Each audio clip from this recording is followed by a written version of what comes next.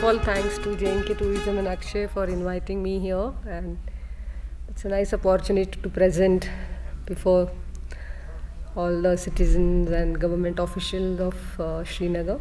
Before I, I, I start my presentation, I would like to tell you that I really learned here that I need to take some time out from my field tour or field work to really present the project work, work in a very nice way. After looking at the all architectural nice rendered drawings, I really feel need to put up our work in a bit nicer way. Yeah, so coming to this presentation, this Oikos is uh, ecological consultancy that we started 15 years back. It's a Greek word meaning home or earth. And this is the word from which ecology is derived, and that's how the name of this consultancy. So we basically work in ecological restoration and biodiversity conservation. So what is ecological restoration? It's just the bringing back original shape or original ecosystem or at least try to go towards it. क्योंकि अभी पता ही नहीं है कई जगह कि original क्या था so many times just by looking at certain areas, certain protected areas, you need to just guess what it was earlier and try to restore uh, those ecosystems. So we mainly work with private landowners and the land size varies from an acre to thousands of acre. So what we really do?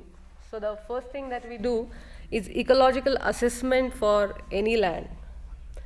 So that land, that assessment is for land, soil, water, flora, and as well as fauna. So this is just like the the contour drawings you have, the architectural drawings we have. We try to create ecological maps. So what we do just visit the land in every season and try to map all its feature. So it could be some rare tree which is flowering in one particular month. It could be some roosting of birds. It could be nesting of birds. Or it could be some habitat which has many food plants or larval host plants for butterflies. It could be areas where you see a particular type of insects. Or there are areas wherein you see very special species yeah, so it's just respecting this entire biodiversity and what we try to do is we do seasonal assessment and try to bring all this ecological existence of all these creatures on paper. So what's the output of all this exercise is uh, as Akshay had showed in his presentation, similarly we also have a water map, how the streams are flowing, where they're meeting the main river, so that you know the natural drainage in any area. Then after that, we try to map various habitats like you see in this particular slide. So this is all open areas that you see. Then you see certain dense shrubbery. Then you see various, say maybe tall forest. Then certain areas, next, are ecologically very sensitive, where all these specialist species are seen. So when it comes to assessing biodiversity, it's not just one or two birds, but you also need to assess the quality of that biodiversity.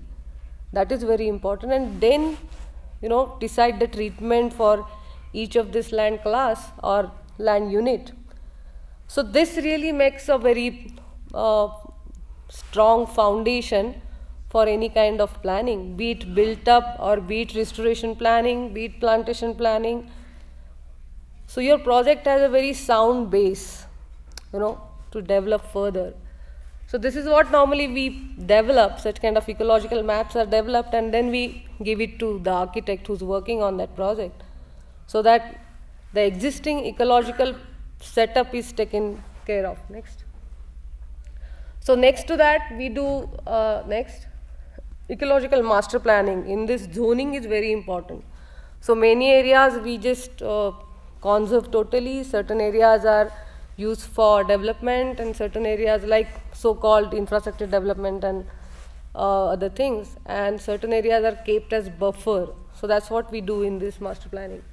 The natural resource management and um, restoration planning is very important thing that we design and try to implement on ground. As all of us know that everywhere soil is getting degraded, water sources are getting depleted.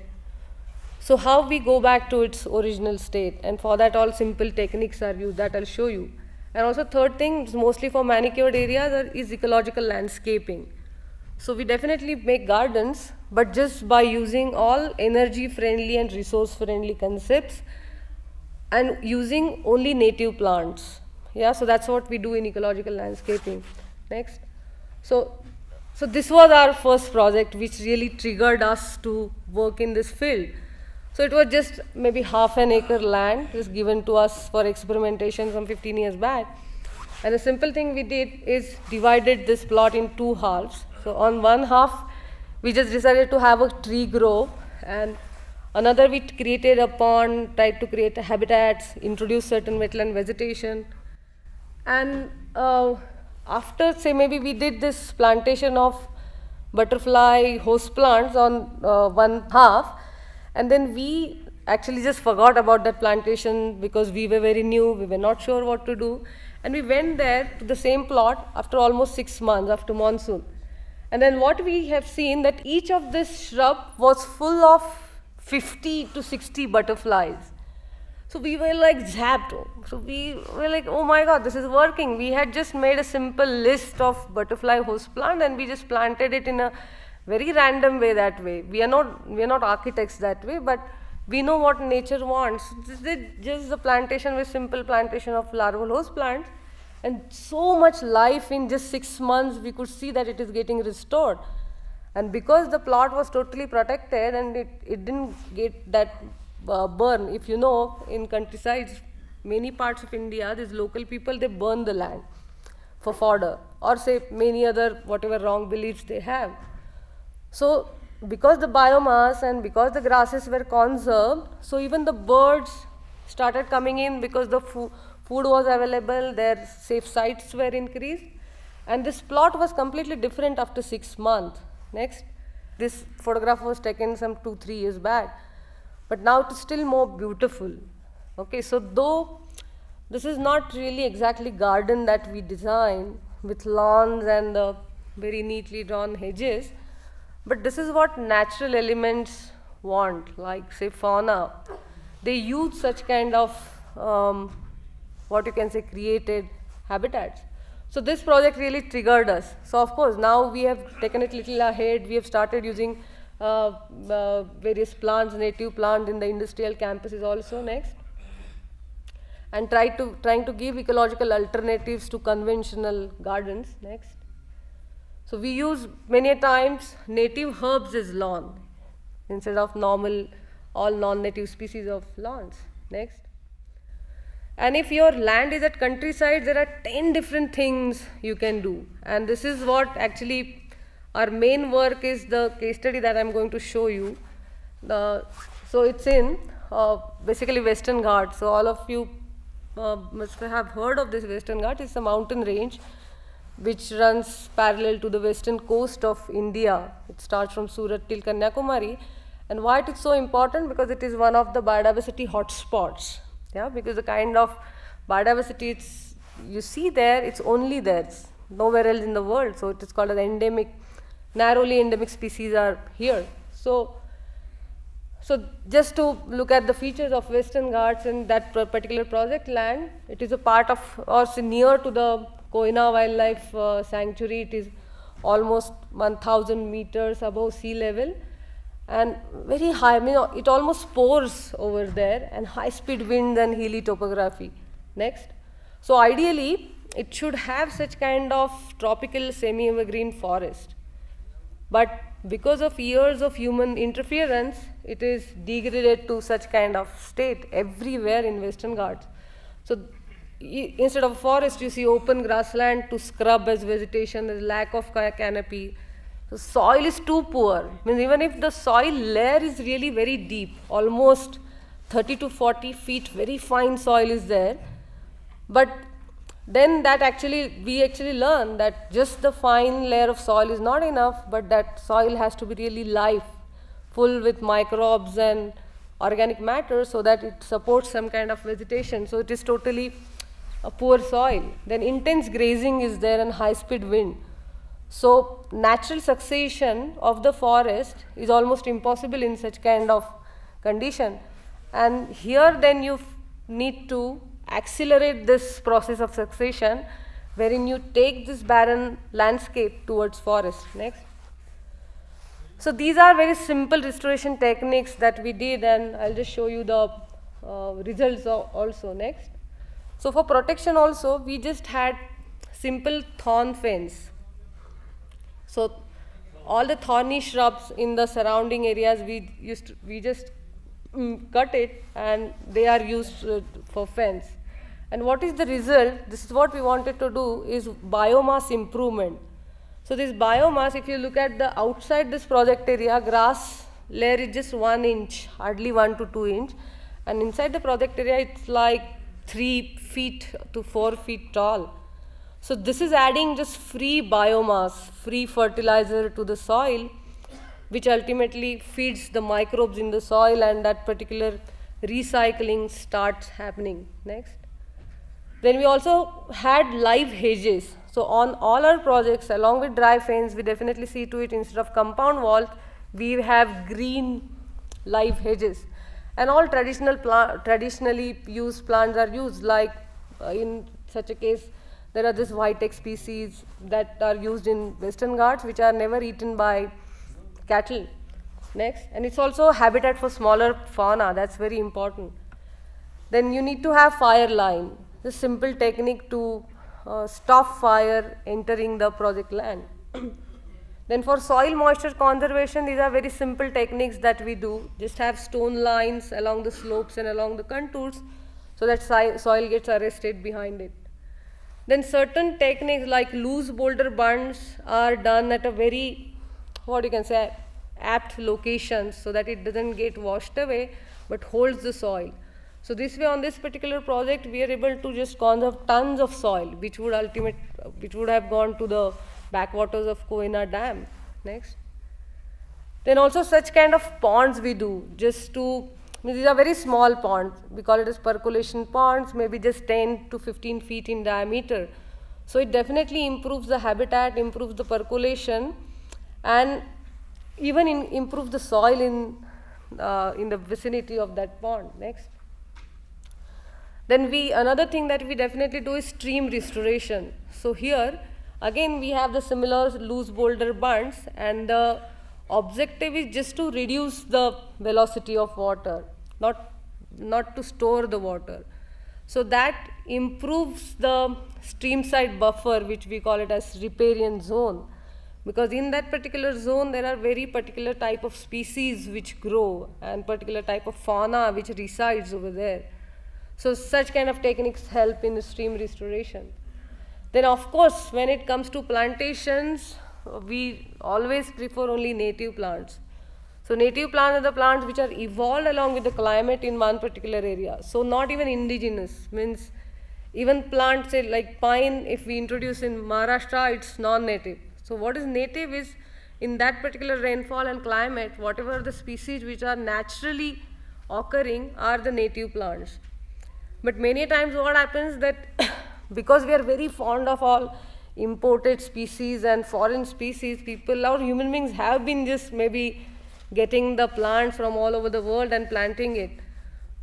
But maybe that's fine in case of gardens within the cities. But when it comes to ecological restoration, there is this fear of getting the species into the wild and become very invasive. Like we have many examples in India so even forest department have been planting all non-native species which are fast growing uh, and now they are really creating problems.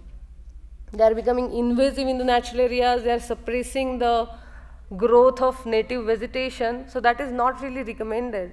So instead of that there is a range of native plants that we have and all our local wildlife is basically dependent on this or they have very very much strong associations with these native plants, like say for example butterflies.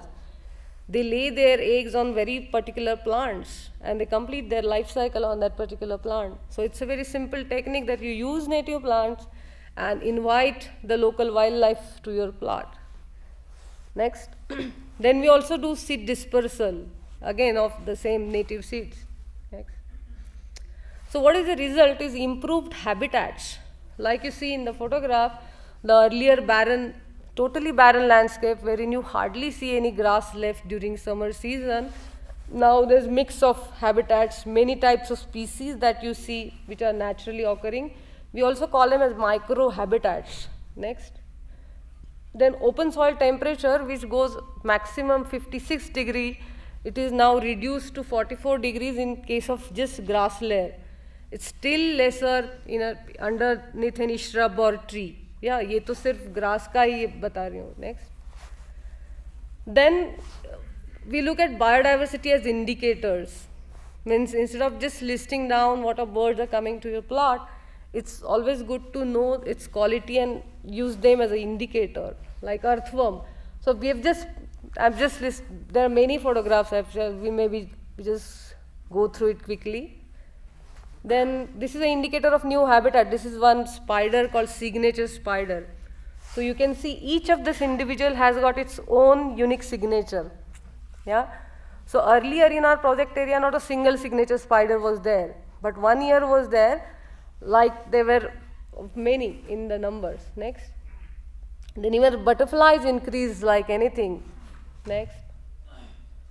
Then all these reptiles, this is called as garden lizard. So again, one in one year, we saw many garden lizards. So why all these uh, tiny creatures are important? Again, if you just remember that ecological pyramid that we studied back in school, if the base of that pyramid is very strong, is, which is of this primary consumers, then only apex species is able to you know thrive in a you know, happily in that particular ecosystem. So for this, all these micro or say primary consumers are really very important. Next. Then also when the temperature of the soil decrease, you see various snakes in that particular ecosystem. So we were really happy when we saw this vine snake for the first time. Then leeches. Leeches is an animal which is an indicator of moisture. If there is a lot of moisture in the soil, then only leeches you know, are able to thrive. Next. Then watering need for the plants decrease like anything. So earlier we used to water the plants right after monsoon, that is in October. But right now we just don't water them. Almost in towards May end or June we start watering the plants. Then many rare species now are, uh, we are able to see them on that particular project land. So this is one of the uh, snake called Russell's kukri that we spotted last year. Next. Then these are just photographs just to show you that how the land changed. So earlier, all the seasonal grasses were there, which, lo which looks very nice, green carpet. But slowly, the same grasses, the biomass started increasing yeah and outside the project land it's just like the same uh, lawn like grasses next so this is how the weather is. It's pouring rains during june you know heavy winds next. And immediately followed by drier period yeah so hardly any grass left next. So these are certain transitional phases that i'm just showing you. So this is one type of perennial grass which is so certain during succession what happens certain species exit and new species come in naturally. This happens naturally. And again as i told you that it it keeps on adding the biomass to the soil just for free. Next.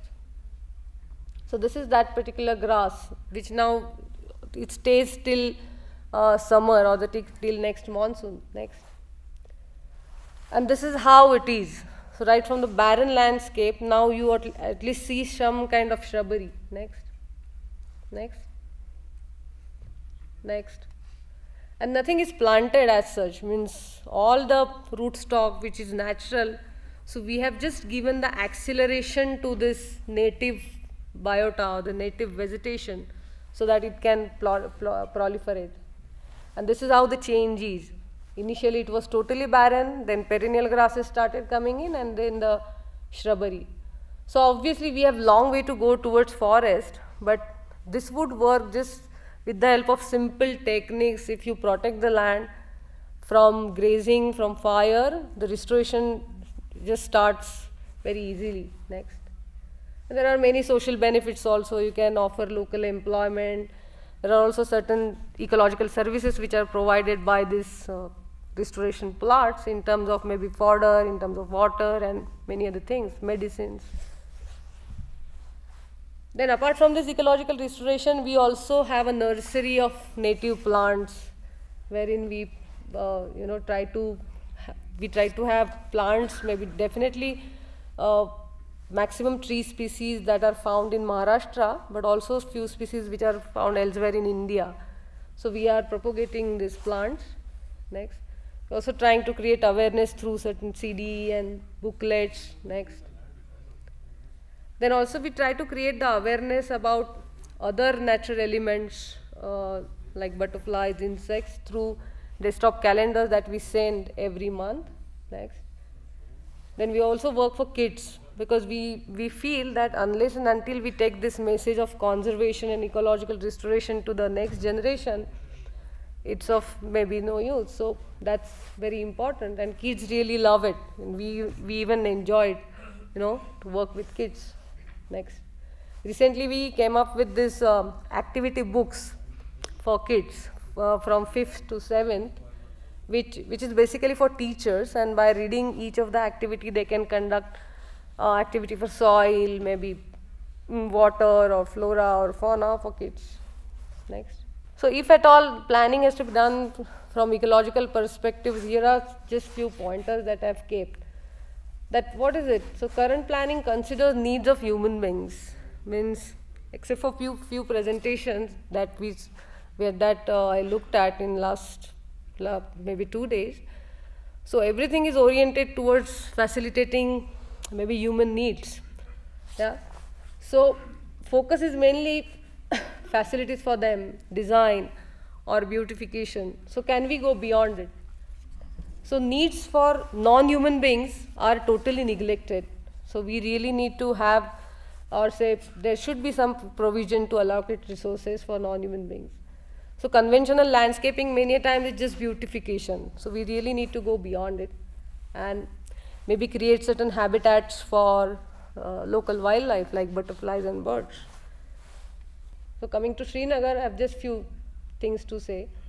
Next, next, next, next. So maybe we can create an ecological map for Srinagar. It would be nice if you can get it done with, with the help of few experts.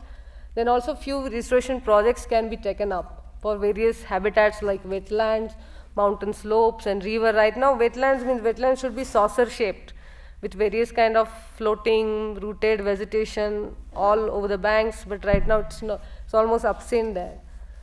Then definitely certain publications are needed, like trees of Kashmir, birds of Srinagar or whatever, Dachigam.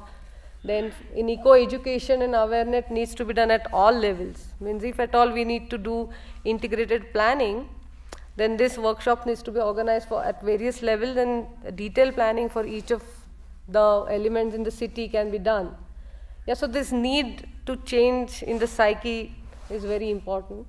And we really need for holistic and cautious planning. So we and also when we plan anything, its implications need to be checked, be it local level or at global level. Otherwise, many times we do plan certain things locally, but Im its implications are seen elsewhere. Yeah, so that's it. Thank you.